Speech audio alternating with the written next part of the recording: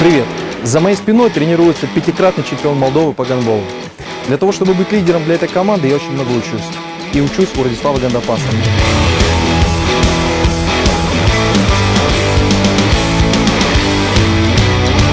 Я иду на тренинг харизма лидера.